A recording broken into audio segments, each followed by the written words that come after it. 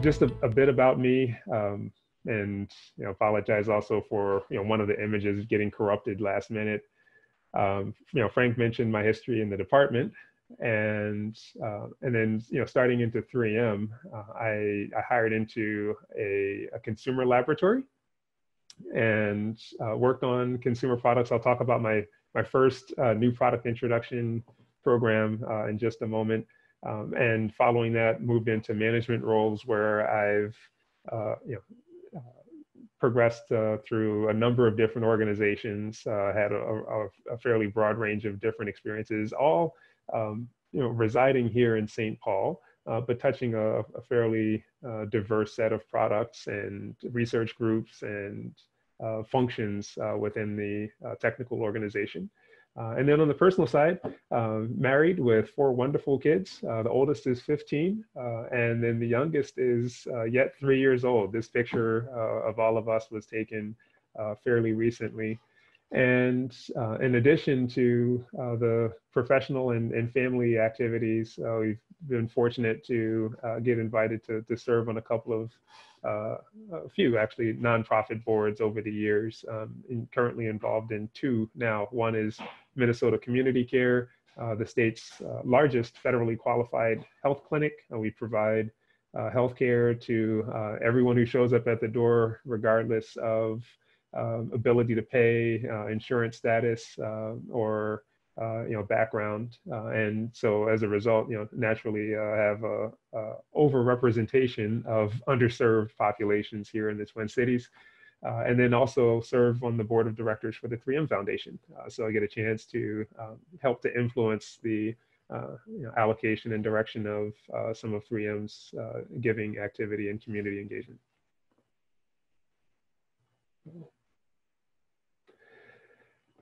so um, this was a an interesting exercise. I was actually trying to find some some uh, digital images and copies, uh, and uh, realized over the years, you know, the, the, the files can pile up pretty quickly. And so uh, I was very pleased to see that my thesis was right uh, within arm's reach. Uh, and so I just thought I'd give a little background because it does lead into some of the work that I've done at 3M uh, on my thesis research. So um, working in Frank's group, um, you know, studied as others have, uh, block copolymer phase behavior. We did anionic polymerization, uh, NMR uh, characterization, and, um, and then investigated structure property relationships, phase behavior, in, in my case of ternary block copolymers and blends thereof. Uh, and so in the images here, you can see just the you know, synthesis schematic, um, some uh, rheological characterization of blends of tri-block copolymers. And you know, we saw for blends of um, block copolymers having different polymerization order for the blocks, uh, that the modulus of the elastic modulus of those blocks uh, was heavily dependent on composition. So an interesting result there pointed to uh, morphological differences in the bulk. Uh, and so we were able to map the phase behavior with uh, TEM and X-ray scattering. And you know, I'll, I'll, refer to this lower right chart uh, later on, um, as we did uh, small angle X-ray scattering to characterize the phase behavior. Uh, we uh, you know, made note not just of the Bragg diffraction peaks, but also of this sort of diffuse um, scattering that was indicative of you know some um, broad-based composition variation at uh, length scales intermediate to um, the periodic phase behavior for the microstructures. And so, um, you know, that was something I stared at quite a bit while I was a graduate student. And as I went into some of my earlier uh, work at 3M, you know, I made some uh, natural connections as I'll be able to show in a moment. So, uh, you know, hired into 3M, I interned there and um, I spent uh, you know the the summer between undergraduate at uh, FAMU, Florida A&M, and uh, and going into the grad department at uh, Amundson Hall, um, and you know just strengthened my resolve that going to get uh, a PhD was was important uh, for me. Um, you know, I, I, I really enjoyed the opportunity to leverage technical creativity and um, uh, you know, insight and high level research to improve the human condition. And you know, thinking about what 3M has evolved its vision and, and value statements to reflect, it aligns very well with things that I'm passionate about. You know, technology, products, and innovation, uh, advancing, enhancing, improving, uh, a broad uh, intent. Every company, every home, and every life. Uh, and so, you know, it's sort of an expansive vision that aligns with um, things that I believe I can aspire to, and uh, at the same time takes advantage of you know skills that that I, I have and can develop. Um, and then on the value side, uh, you know, it's it's uh, increasingly apparent to to us as a company the the criticality of diversity and inclusion.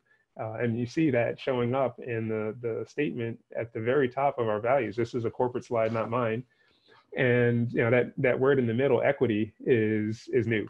Um, and you know, just thinking about the the the, year we've had, um, the the impact of COVID nineteen, um, the the very prominent uh, social and civil unrest associated with disparities uh, that we you know we're all aware of uh, here um, you know, 3M is embracing its uh, leadership role in the country and in the community uh, to, to, to support and, um, and help combat disparities while at the same time providing uh, equitable access uh, to um, you know, all of the, the backgrounds and interests uh, represented among our population. And I'd add that it's partly around a moral stance, but it's just as much around a business viability uh, perspective as well, because we, we cannot compete with one hand behind our back or one fraction of the brain power uh, available to us. And so you know, we have to make uh, inroads for everybody to participate in the innovation ecosystem.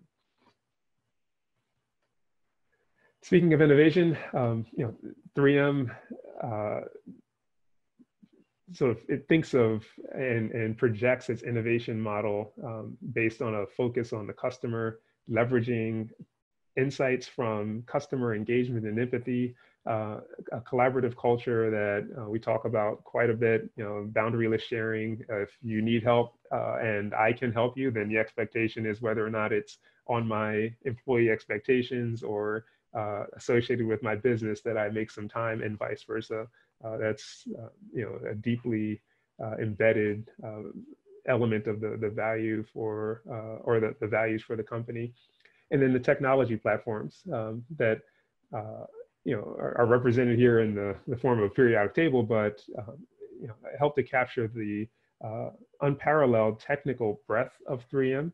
Um, we've you know, certainly have a legacy in material science and materials processing and materials manufacturing, um, but we've been adding to that uh, list of core competencies and world leading expertise steadily. So, um, you know, what, what do those technology platforms do and, and, and represent and how do we take advantage of them? Um, so you know, as, as one example here uh, with adhesives, uh, one of the oldest technology platforms for the company, we've seen those proliferate into uh, a diversity of thousands of products. And I think roughly $10 billion of our sales are, are tied to adhesive production. Uh, so, you know, you see some examples here in safety and retroreflective products. I worked in that business as the manager for a while, and then right next to it, uh, digital print graphics films uh, used for branding around the world. If you see uh, an image on a truck or on a, um, a commercial vehicle of any kind, uh, airplanes included, signage around the world, um, the odds are, are pretty good that 3M is involved in making the, the substrate for that. Uh, they have to weather well, they have to be color fast, they have to be conformable, and so there's adhesive science necessary for it. Uh, and then you know down to uh, microscopic uh, and increasingly even nanoscopic uh, considerations uh, associated with the production of consumer electronics. Um, we're you know deep into automotive OEMs and you know working with some of the world's largest brands in that space. Um, we use adhesives actively for wound care, wound management, and infection prevention, and of course, uh, well known for our, our presence in the consumer market uh, with you know post-its and, and Scotch Magic Tape. Uh, Command adhesive is uh, sort of a, a more recent uh, larger brand addition, but a, a lot of nice uh, creativity uh, adhesive science associated with bond and debond on demand, um, appropriate for broad-based consumer use in mounting applications where there can be uh, you know, some safety considerations uh, for things that are going to get mounted where people are walking around. So, you know, there's uh, some nice adhesion, adhesive science involved there.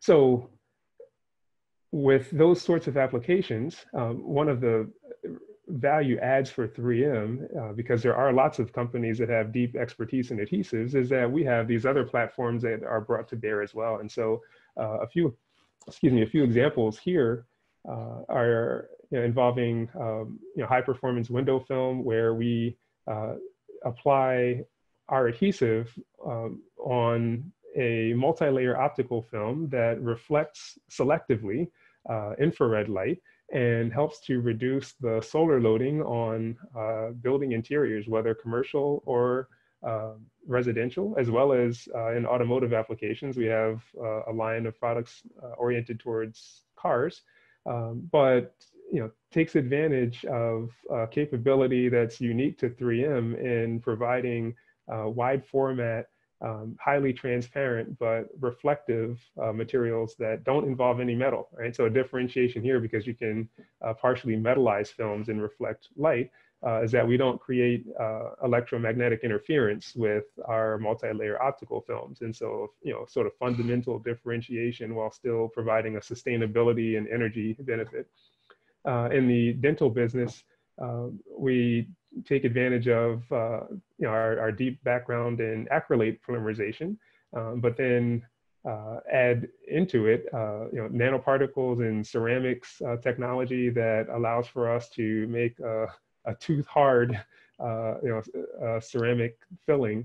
It, it, starts malleable and you can photopolymerize. So you know, all of the, it has to be biocompatible uh, you know, all of the science around making biocompatible materials that apply quickly uh, and with, uh, you know, low toxicity, uh, a part of the combination of these technology platforms and the deep expertise that's uh, resident in our, our laboratories.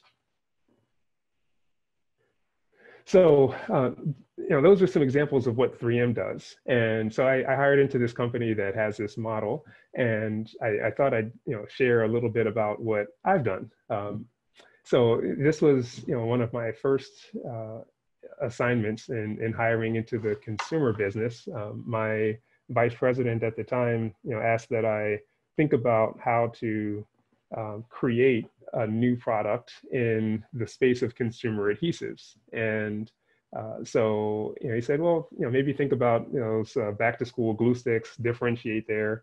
Um, you know, apart from uh, the, the marketing merit of such an idea, uh, you know, the, because uh, those are sold very uh, low in price, um, you know, I, I did have a chance to work as sort of the startup uh, CTO of that activity, working with a marketer. There were very few resources involved, and so we got to decide what to do, where to do, uh, and the claims to to make. Um, and you know, one of the things that we ended up uh, formulating was a product that looks different on the shelf uh, in that it was transparent and also performed uh, differently than commodity glue sticks in that it didn't wrinkle paper.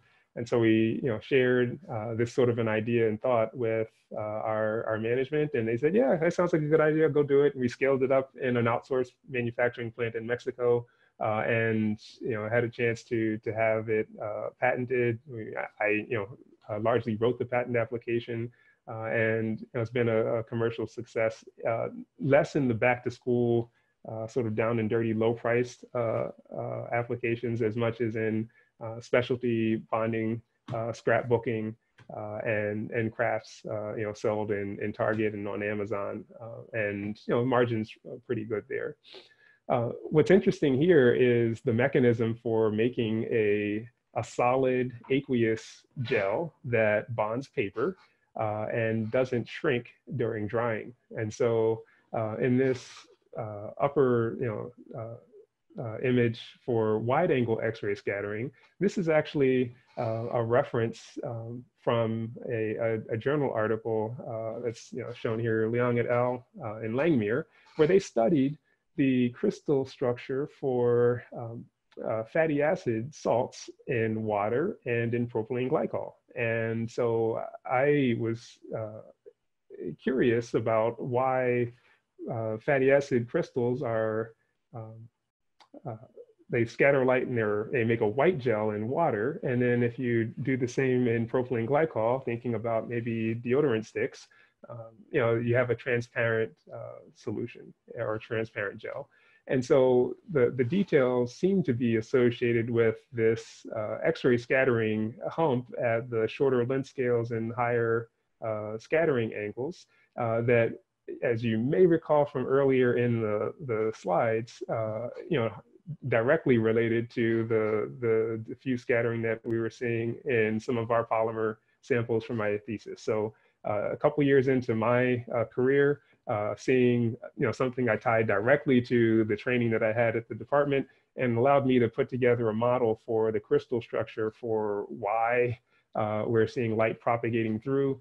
Uh, and then you know this haziness here would be tied to the refractive index difference between the crystals. So then you know what might there be that's uh, non-toxic, safe for kids or or uh, you know uh, folks to use in home that's going to raise the refractive index uh, cheaply of an aqueous polymer solution. And lo and behold, sucrose, table sugar, uh, fit the bill. It raises the solids content of an adhesive gel, and you have a, a very low shrinkage, uh, transparent, uh, vis visibly differentiated, higher performing uh, adhesive. We patented.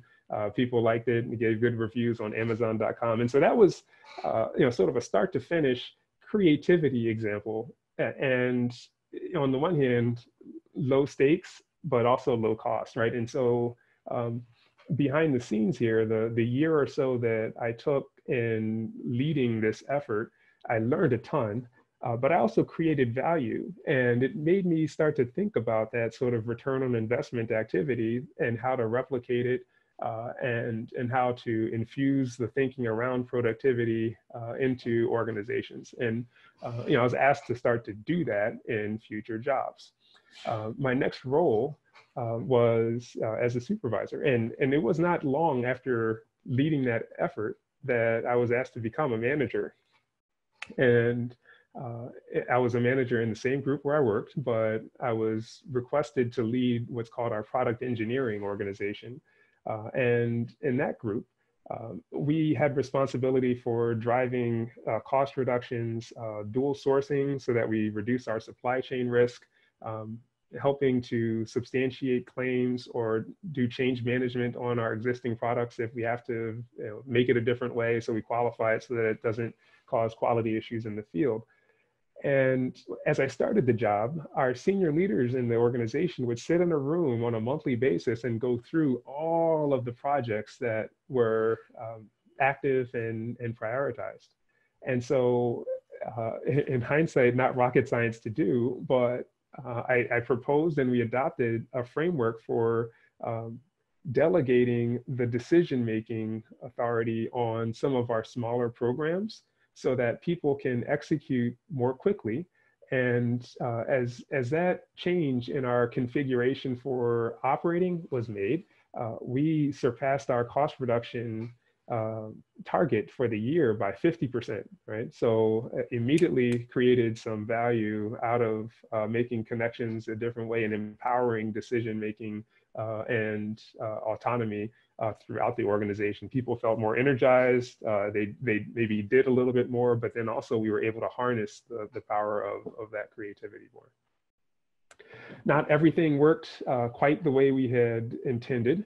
Um, you know, the, the very next job that I had, uh, because that, until that point, you know, I'm PhD out of, out of University of Minnesota, sort of pedigreed, I hired into a big company, uh, I had flashed a little bit of leather with, um, you know, driving a product to completion, and it was, you know, marketplace success. So I thought uh, with rose-colored glasses that I could, you know, go into most situations and and contribute successfully. Uh, I, I learned a very important lesson in my next job um, because you know, I was hired uh, by one, you know, one of the managers I pre previously reported to who had gone into another job he said, why don't you come over over here and we'll work on this sort of an initiative. Uh, we were going to work on making um, renewable or sustainable cleaning products in our home care business based on an investment the company had made to uh, produce uh, non-woven substrates using uh, PLA. And um, I, I, went in, I took that job with no due diligence, no, no background reading to understand the viability. I didn't check on competitors, you know, so I didn't understand the implications of competing against, for example, a Clorox or a Procter & Gamble who are deep in this space and have already high volume production, brand strength, and uh, capability to to sell at very low margins for a long time, right? And so um, those are not recipes for success. And as a result, lo and behold, we didn't have a lot of success in this area, even though we did commercialize those wipes that are on the left. They didn't stay in the market for a long time. And none of the other uh, products like dusters or uh, floor floor sweepers to complete compete with you know some of the other branded products. They they, they were not launched uh, at the time. And and so you know i wouldn't call that a failure. Uh, i would say that we we learned um, and um, i learned some of the ways to anticipate more quickly uh, initiatives that are not likely to be as successful and i'll talk a little bit about that as as we go forward so um, that was the only time in my career where i actually uh, initiated a um, you know a, a, search for another position. Um, every other position I've ever taken at the company has sort of been, um, you know, uh, uh, invited or appointed or something like that. Um, and you know, I was fortunate to uh, to to win uh, an assignment in a, a, staff group serving one of the uh, business group labs, uh, safety and graphics at the time. And so in that job, uh, I had a, a, chance to work very broadly in uh, sort of a core technology development group, interacting with a number of different line operating units for 3M. And that was as successful as the previous job was challenged. Uh, the, um, the scope was well suited. Uh, we were empowered to be successful. We got to work on just the highest priority activities, and I got to leverage my technical background very effectively. Uh, and so, you know, we, we touched uh, many of the solutions that are uh, discussed here, uh, including, um, you know, the, the respirators that, uh, you know, have been so much in the news. We didn't invent those, of course. Those have been sold by 3M for a long time, but we made some very material improvements uh, to, to how they perform and, and how they're, they're sourced. I served as the R&D side integration manager for, at the time, 3M's largest uh, acquisition of capital safety uh, is around uh, $2.7 billion if you include all in debt and, um, and the, the capital deployed. Um, you know, get a chance afterwards to, uh, to serve as the Scotchlite reflective materials um, uh, technical leader in the personal safety business, uh, and then moved into my first and only technical director role, uh, where you have comprehensive R&D responsibility for uh, a division laboratory. And in that group, uh, we provide solutions across the board for uh, commercial entities, uh, whether thinking about their uh, brand presence and the design of the interiors. products from that business are actually outside of Amundson Hall from the window film with the dichroic film that, that was installed um, you know, the graphics film that I mentioned earlier, uh, floor cleaning pads, and a range of cleaning solutions for building service contractors. Uh, and throughout all of this, uh, I'm getting a chance to, through leading teams uh, in a very diffuse way, inject some of the experiences that I've had in previous roles. Uh, so first and foremost, you know, commercialization, success, and, and acumen, um, and being able to coach teams that way. Uh, but then also, you know, thinking about uh, connection points and applications uh, to, to replicate uh, geographic expansion, the interface with our groups with marketing, manufacturing, uh, regulatory compliance. so, you know, certainly having a, a, lot of opportunity to grow personally while contributing on a significant scale, you know, going from uh, you know hundreds of thousands of dollars uh, early on in career to you know then you know billions of dollars in individual products to hundreds of millions of dollars and then billions of dollars on the uh, on the business group or, or corporate scale.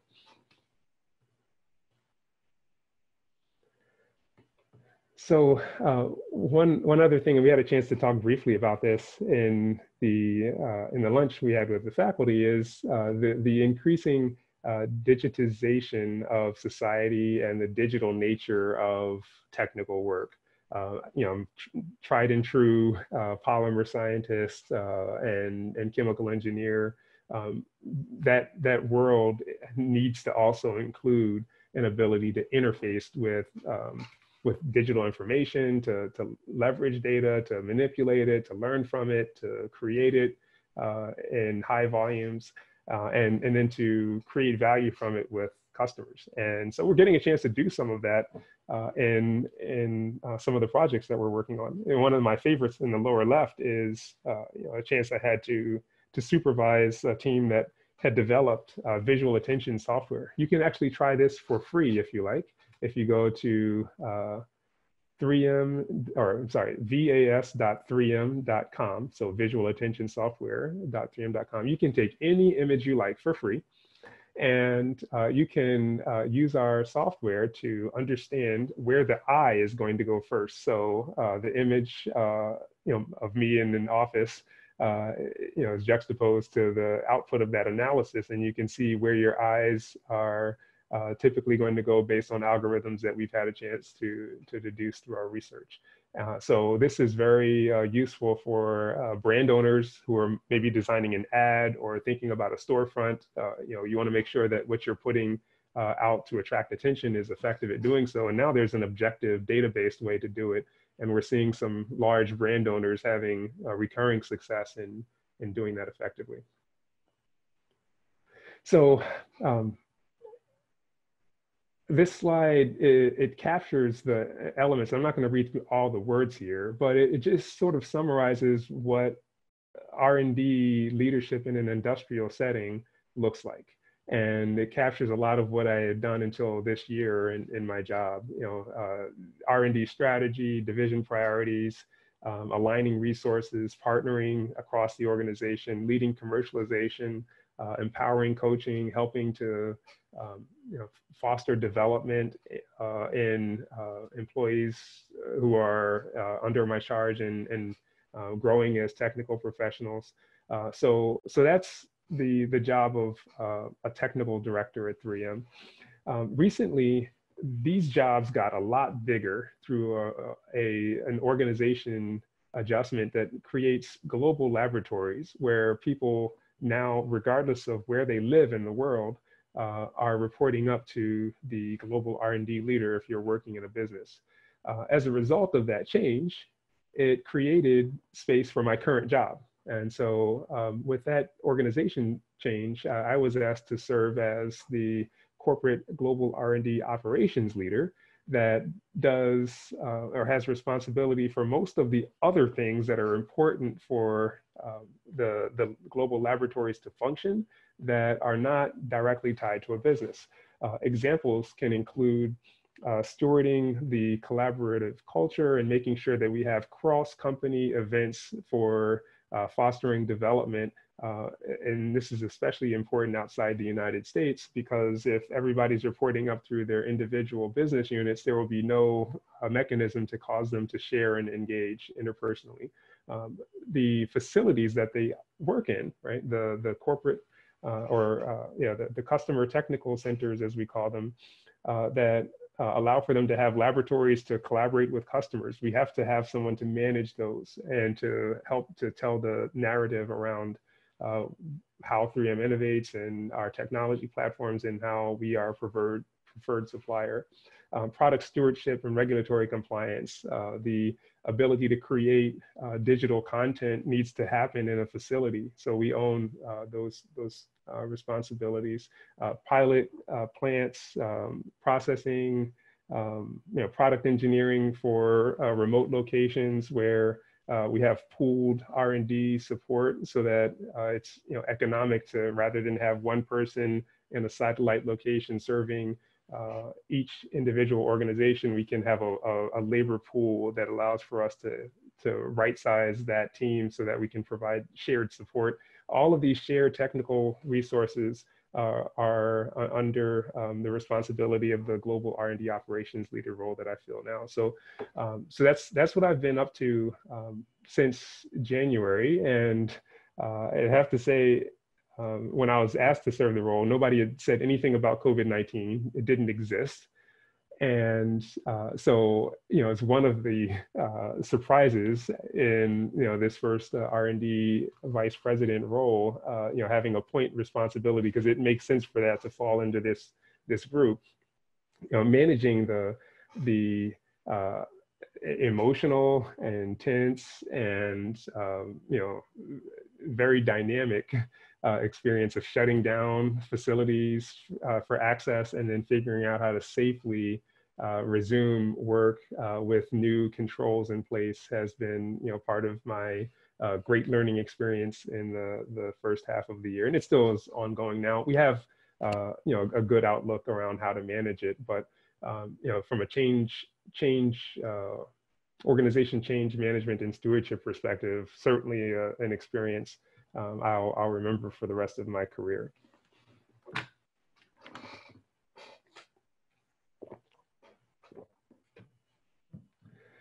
So, um, so I, I, just tried to share a little bit about what I've done, and uh, know, briefly uh, share you know some of the things that I've treasured a bit in thinking or in trying to uh, influence beyond the scope of, of the job.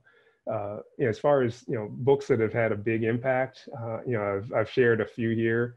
Um, the mindset book is actually the most recent one that I've read, and I wish I would have read that years ago. It would have changed a lot, not just about my work, but also about my parenting and, and other relationships. Um, the idea that our capabilities can be uh, enhanced no matter where we are through effort and coaching and encouragement. Um, you know, this notion of value creation is absolutely essential in my view for leadership right? And so th- this is how we avoid some of those whoops moments where you spend 18 mon- months working on a project that's not going anywhere for questions that could have been uh, reasonably asked and answered uh, at the outset. Uh, so you know just a, a couple of uh, notes there. Um, and then you know the corporate finance i've actually never read that book but it captures i'm sure uh, the the essential nugget from it in discounted cash flow analysis and net present value, uh, that pairs nicely with the idea of value creation. I don't ever or hardly ever go and make a, a DCF calculation, but I absolutely think about how long things are going to take versus the value that's going to come from it. And I try to prioritize and, and lead effectively with that in mind. Across 3M as well as other companies, um, you know, we, we have a chance to, uh, to impact the, the next generation of scientists and a nice uh, storyline here, uh, you know, around uh, mentoring opportunity I had with Peyton Robertson. Uh, he was the winner of the Discovery Science uh, Young or Discovery Education 3M Young Scientist Challenge. I served as his mentor and he's now off to Stanford. but after uh, you know, participating in in this competition uh, and and winning and going on to meet the president, um, you know, he has just become such a wonderful young man, and his family has influenced mine, uh, you know, easily as as much as any touch point I, I had with with him, um, and I, I I do a, a, good bit of mentoring. You know, this is easily the most successful uh, student that I've had a chance to in, interact with. Uh, but uh, you know, a really important part of my life story and my career story and my professional uh, you know legacy is the number of lives that we get a chance to touch uh, through um, you know just mentoring and, and taking time to share experiences that that we've had. And you know that all said, you know, it's still um, it, it's all the more important in new dimensions now. Um, you know, as an African American male, uh, and you know senior leader in what's still you know uh, a fairly majority uh, you know um, populated organization in a state that you know over indexes uh, for uh, you know Western European ancestry and and, and under for uh, you know people of color. Um, you know, I've, I've been really pleased to see the increased engagement there in the department at 3M and across the country, you know, we want to change the trajectory of uh, racial equity and inclusion in the United States. Uh, the history has obviously been a challenge, right? It's not good. Um, but what's involved in, in, in changing and how do we do that? And so, uh, you know, 3M has been very supportive in uh, and allowing me the space to get involved in some of these other organizations, uh, you know, serving on the advisory board for my alma mater, uh, for uh, Merrick Community Services providing uh, food shelf as well as uh, career coaching for people who, who need it. Uh, Sanneh Foundation really focused on youth here in the, the east part of the metro, and I already mentioned Minnesota Community Care. You know, broad-based you know, opportunities to, to impact, and I, I try to balance the priority of you know working my day job, yes, and being a present father and and, and husband, uh, but doing what I can in the community. I just wanted to share what 3M is is doing, um, you know, as, as sort of a representative in in, in speaking. Um, you know, I know University of Minnesota has you know started on on a path, and so um, you know we're headquartered here in Minnesota. The reality is that you know diversity is ethnic diversity is more challenged just because of the demographics here versus elsewhere. So um, we are also taking the opportunity to, to leverage our national footprint in manufacturing plants and trying to provide manufacturing career pathways, which over time can help to lead into even folks relocating to, to Minnesota. Um, you know, absolutely, you know, continuing the, the advocacy for uh, STEM training and uh, working to create a pipeline for students of color to go uh, to to get uh, degrees, uh, even potentially at under, or I'm sorry, at HBCUs where we haven't as much made investments, and then having them come back and, and work at 3M, and then inside the company, uh, you know, we, we, we have our own work to do at 3M, right? We want to increase our representation, uh, you know, across the board, senior leadership on, on down into the ranks. Uh, and, you know, we're, we're trying to also infuse a culture of advocacy where silence is is um, not enough, right? Uh, passive interest and, and wishing for change is not enough. We're, we're trying to create uh, advocates among our leadership and an expectation of people sort of pushing against the causes of disparities uh, as a part of, of leading at 3M. So this is my last slide. Um, I, I, I, mentioned uh, there would be a, a, bit, you know, in my abstract, I mentioned there would be a bit of, of advice um, that, uh, you know, in my experience is underappreciated uh, as far as advancing in your career. Um, and, you know, so you can read faster than I can talk. Uh, I'll, I'll just focus on just that one point. And for those of you who are um, graduate students thinking of moving into uh, industry, uh, this is, in my view, the most important thing that I'm going to say today.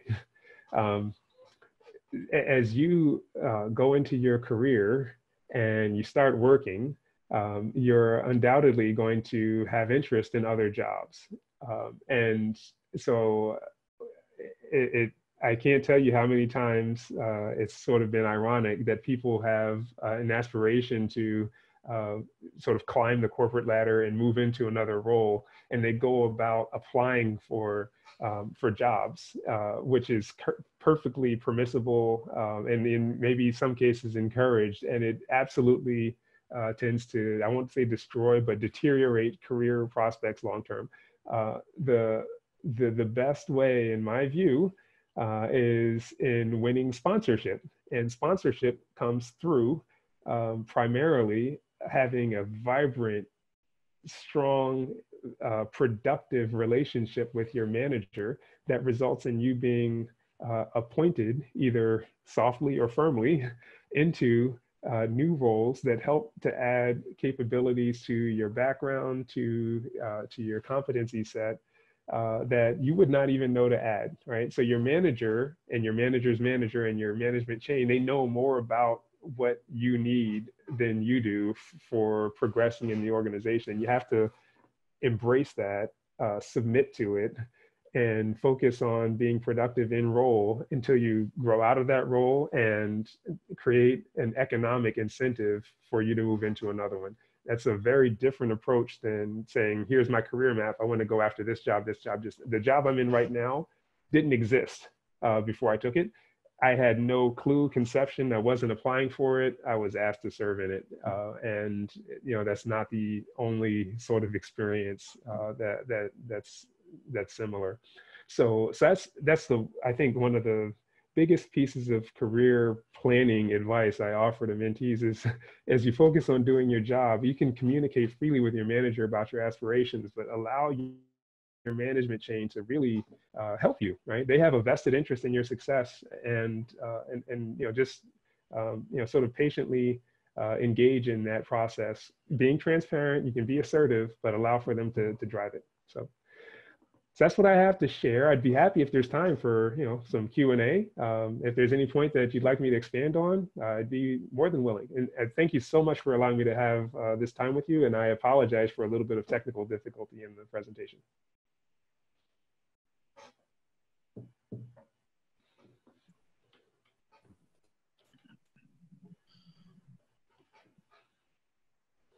Well, that's great, Cordell. Um, I'll kick in with that, and maybe uh, we'll um, allow Dan Frisbie, our department head, to uh, to weigh in and field some questions from the audience.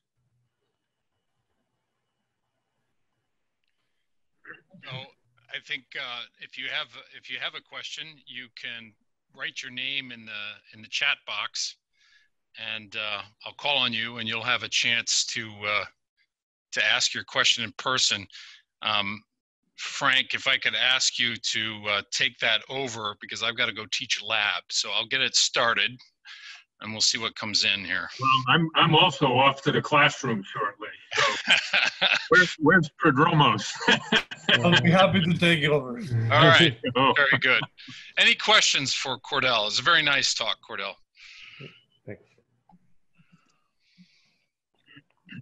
Well, Frank and Dan, please enjoy your uh, your classes. And thank you again. I know you have to run. Five minutes, five minutes with you, but then uh, I got to get ready. So, um, we have great. a question from Grace Kresge. Yep. Uh, hi. Yeah, I was interested in if, if you anticipated a transition from research engineer to the managerial director side of things. Yeah. Uh, you said you let your manager kind of take the wheel on that and suggest it, but did you want to go into that position? Good question. At first, no. Um, you know, somebody asked me, uh, not not a manager, but one of my colleagues, um, a, a, senior scientist. So he, he was uh, he'd been working at 3M 20 years at the time.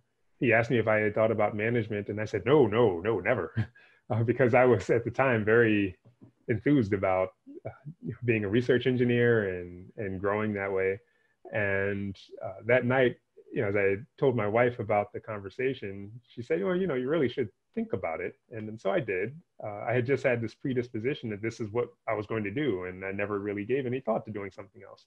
And in fact, I had this errant perception that um, that research or that uh, that managers were technically just less competent, and so because they were less competent, they went to go do management, and real scientists did science. Um, you know, I, I, I, hope that's not true. Uh, but in any case, uh, I, I, as I thought about it more, um, I said, well, you know, if I'm asked, I should at least give it a try and, and learn. And increasingly, I saw the, it's just a difference in career path. As a manager, you get a chance to have a, a diffuse touch point on a wider range of things. And so um, while I don't do all of the work that I you know referenced in my talk, I at least get a chance to understand it and see it and learn from it, and th- that's rewarding and engaging. And I, I, I, found satisfaction in that, plus the the benefit of the interpersonal leadership and management. Um, and you know getting a chance to hire people into the company and give them a start in their career so all of those things started to appeal to me more and so when when the request came and that's exactly how it did happen it was i i didn't say you know can i apply for this manager job somebody sat me into a room and and said "Do we'd like you to do this job i was ready to say yes Great. Ryan Collington.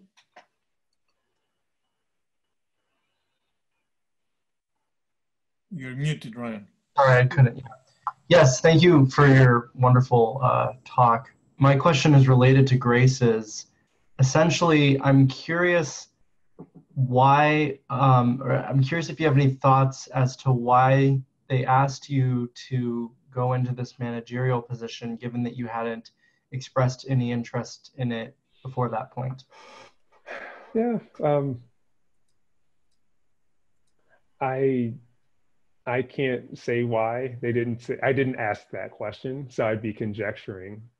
Um, that said, now having hired managers myself, um, there are a number of reasons why people sort of choose a candidate, a person to be a manager. Uh, and you know, certainly, as I, I mentioned in the in my presentation briefly, as, as I also shared with the, the grad students at, uh, in the morning, um, I had evidenced uh, a certain you know combination of business acumen and technical uh, aptitude that is very helpful for uh, managers to to have. And so, uh, I I hope that a part of the uh, the invitation was a desire to sort of infuse that into a, a larger number of projects. Um, it's a very uh, valuable capability as a leader in an enterprise to be able to um, to help in handicapping initiatives or investments, right? Um, that that feeds into prioritization, and over time feeds into uh, you know corporate scale return on investment. And so um, it's it's one thing to be technically competent, but that doesn't mean that you're going to work on the right problems. And so the ability to help steer the conversation to work on the right problems it was was something I think was recognized in me and, and led to the request. Thank you. Sure. Great. Any more questions? Amber Walton. Hi, yes. Um, I had two questions. Um, Sure. One question was about I'm kind of astonished that you're involved in so much, like the outreach kind of efforts and your role in the corporate company, um, as well as just parenting and being in that family. So I'm just wondering how you were able to balance all of that and maybe practical tips for how you best kind of navigated being invested in so many different stakes um, Sure. and yet still performing well and yeah All right. Well, um, yeah, th- this is a, a, a good sort of long term type question to have in the context of a relationship. So I'd be happy to connect on LinkedIn and, and talk about that uh, over time because there's a lot that goes into it. Um, you know, values and faith would be, you know, a part of it. Helps you to prioritize uh, what's important and what's not.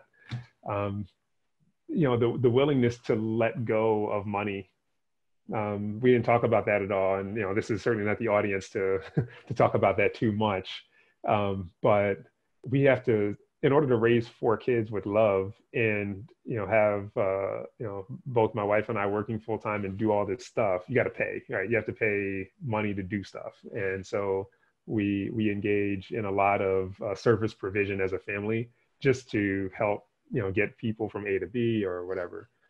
Um, and and then the other is um, you know tr- trying to i guess